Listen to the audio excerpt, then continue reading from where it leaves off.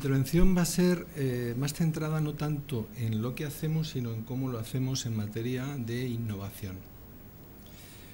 Nuestra compañía, como conocen supongo todos ustedes, es una compañía de raíces alemanas donde una de las señas de identidad de las que nos sentimos orgullosos es precisamente la innovación.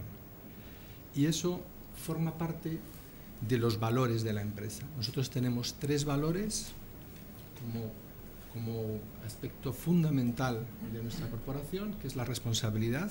Somos una compañía que damos cuenta de lo que hacemos en el sentido más amplio.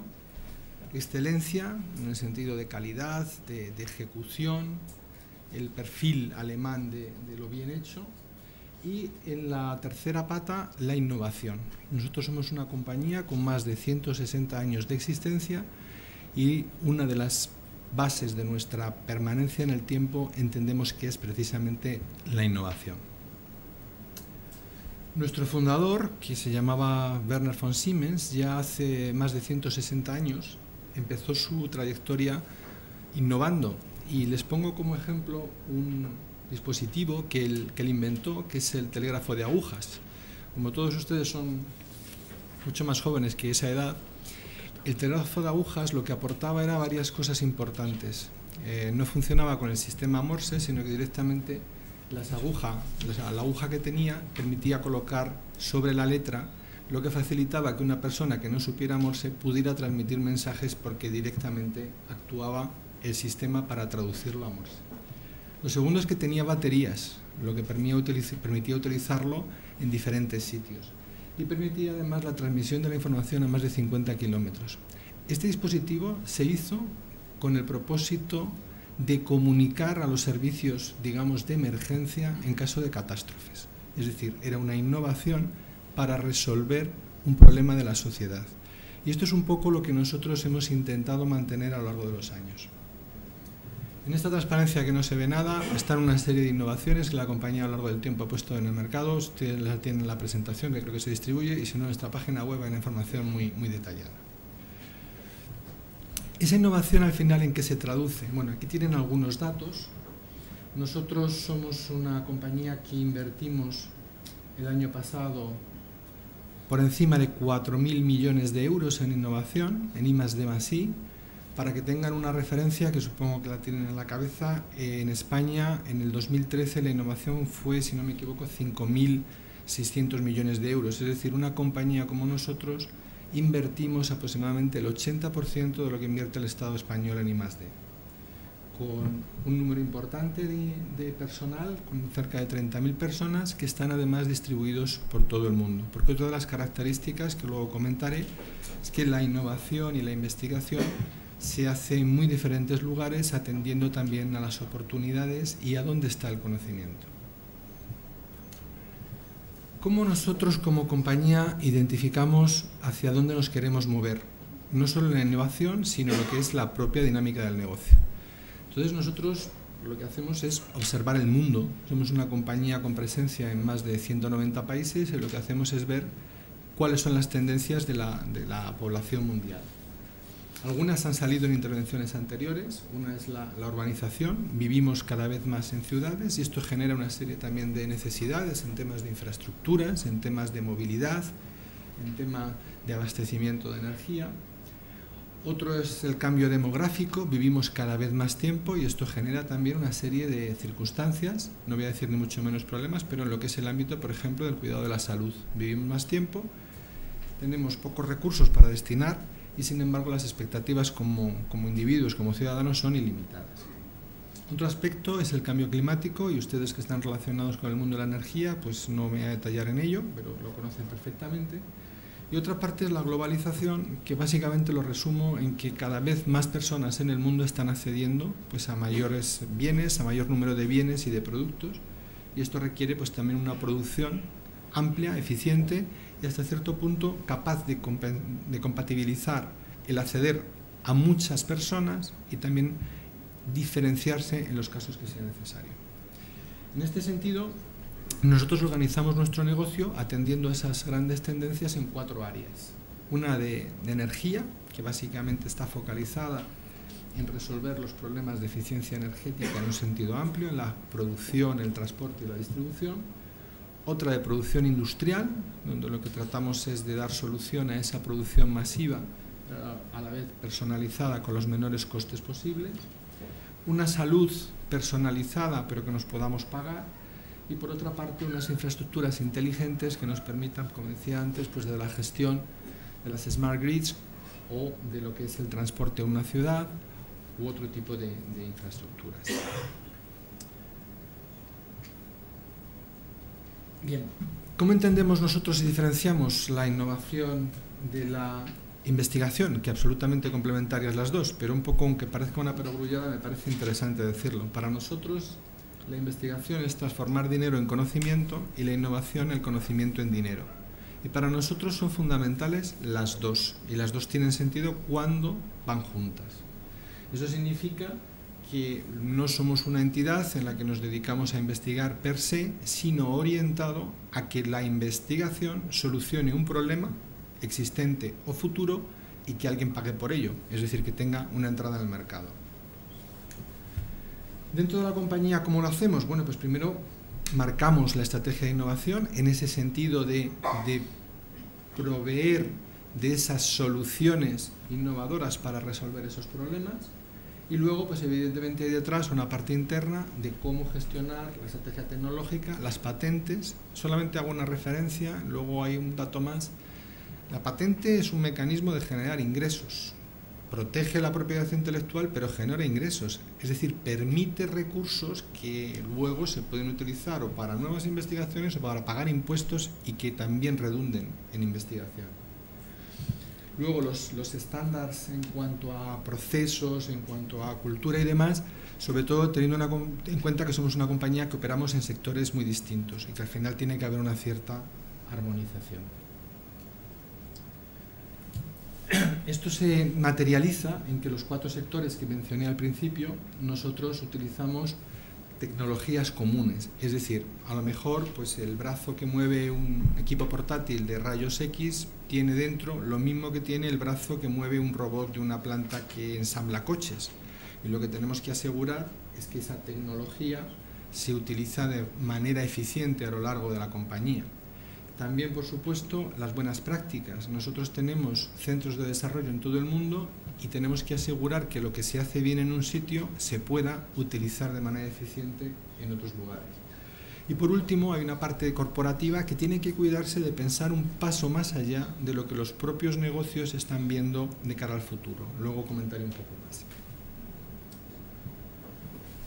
Un aspecto fundamental, y yo creo que esta es una de las transparencias para mí más eh, representativas de lo que quiero transmitir. Nosotros trabajamos en red. La investigación es cara per se, los recursos son limitados y nosotros no podemos tener absolutamente todas las competencias porque no nos lo podemos permitir. No porque no nos gustaría, sino porque no seríamos eficientes económicamente. Eso significa que trabajamos con centros de investigación, con universidades, con clientes, con competidores, con think tanks, es decir, con una serie de instituciones que al final lo que nos permiten es que en el proceso de innovación haya aportaciones de los que en cada caso puedan contribuir de una manera destacada. En ese sentido, pongo esta transparencia que parece que enfrenta un dilema, un juego de palabras. Nosotros decimos que el laboratorio es nuestro mundo y por otra parte que el mundo es nuestro laboratorio. Trabajar con esa red que, que incorporaba en la slide anterior significa que nosotros generamos, tenemos gente haciendo investigación, generando nuevas ideas, pero tenemos también que ver cuáles son las ideas de los demás, precisamente por lo que dije antes, porque no podemos ser los mejores en todo. Segundo, tenemos por una parte, y lo he citado, la política de patentes para proteger nuestro know-how, pero por otra parte tenemos los riesgos de compartir lo que sabemos hacer con esos otros socios y también tenemos que manejarlo.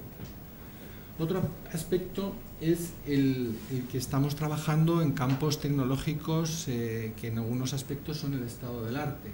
Pues también tenemos que ver cómo en otros estamentos, en otras partes del mundo, en otras instituciones, en otras compañías, hay también este conocimiento y lo podemos combinar. Y por último, nuestros empleados, pues evidentemente están trabajando con proveedores, con todos estos entornos y trabajan de igual a igual de igual igual con personas que eh, son personas con alto talento, bien preparadas, con, con unas competencias excelentes, que tenemos que asegurar que convivan de una manera eficiente. Un ejemplo ligado con el sector de la energía de esa innovación en red. Eh, una turbina de gas. No sé si se ve muy bien, pero hay una parte a la derecha de la transparencia donde pone competencias. Una turbina necesita conocimiento en temas de aerodinámica, en temas de materiales, en temas de combustión, en revestimientos térmicos, en cálculos de probabilidad, en conductividad térmica, es decir, en una serie de disciplinas donde el expertise es altísimo. Nosotros, en ese sentido, utilizamos la red de universidades, de partners, de socios que nos pueden aportar ese conocimiento para que al final podamos poner en el mercado la turbina más eficiente.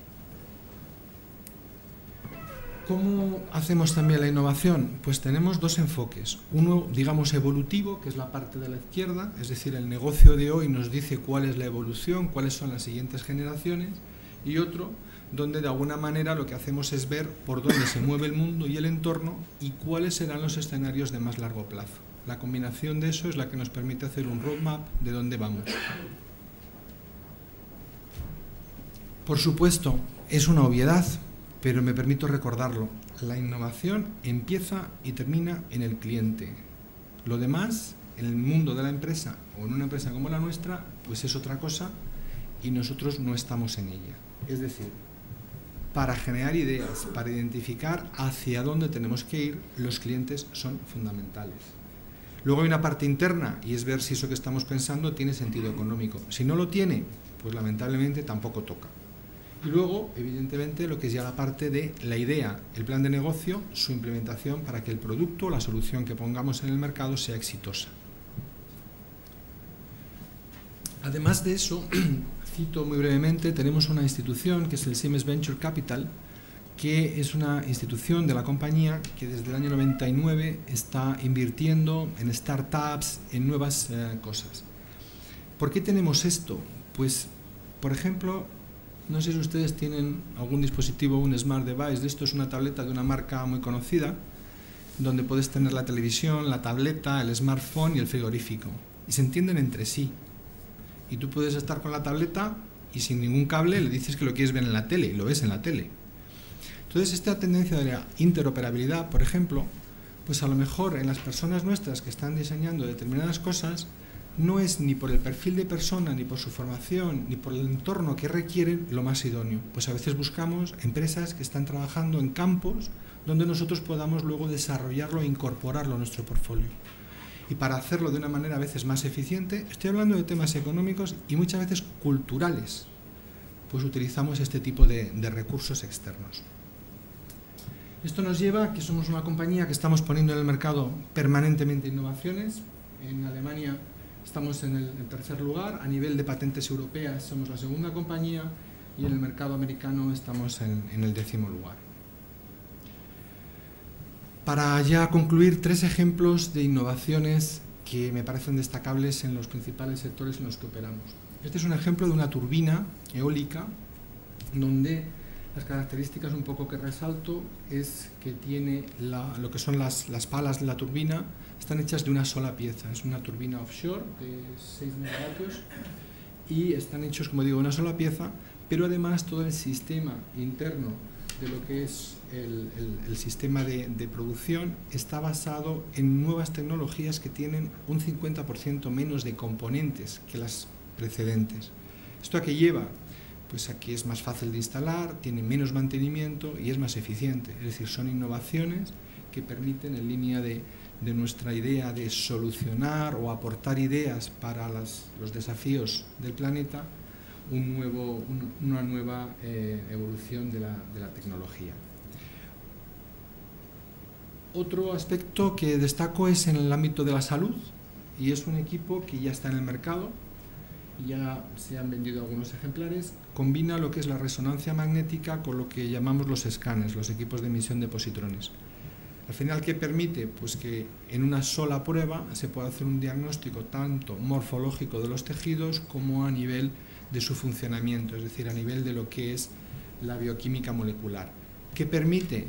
pues que el sistema de salud en una sola intervención, citas a la persona, puedes tener una información con ese tratamiento de las imágenes que vienen de los dos dispositivos de una manera más integrada y eficiente y favorecer un mejor diagnóstico y antes. Y un tercer ejemplo de algo que no está todavía en el mercado, ni sé si lo va a estar, pero sí un poco por decir en qué cosas también pensamos.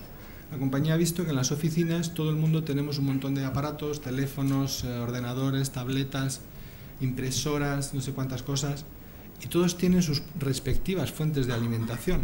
Bueno, pues estamos pensando si tiene sentido que en determinados sitios la fuente de alimentación sea común para todos los dispositivos y en vez de tener todos la cajita conectada con el cable para luego darnos la tensión continua que necesita el PC, pues hay otro sistema centralizado que permita ahorros. No sé si va a funcionar o no, o aunque funcione, si esto mañana está en el mercado, pero es un ejemplo de por dónde nos movemos.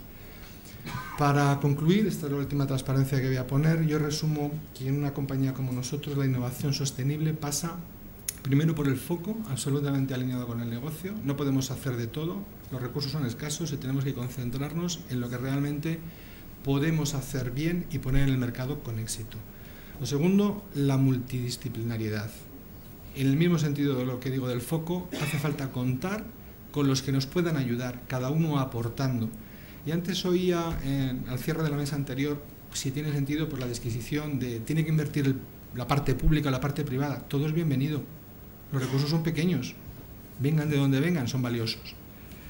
Otro punto también para mí es la participación de los clientes y otros grupos de interés. Yo creo que es fundamental para no errar el tiro. Y un último, me atrevo a decir, quizá no tan visible, pero para mí cada vez más importante, la rapidez con que las innovaciones llegan al mercado.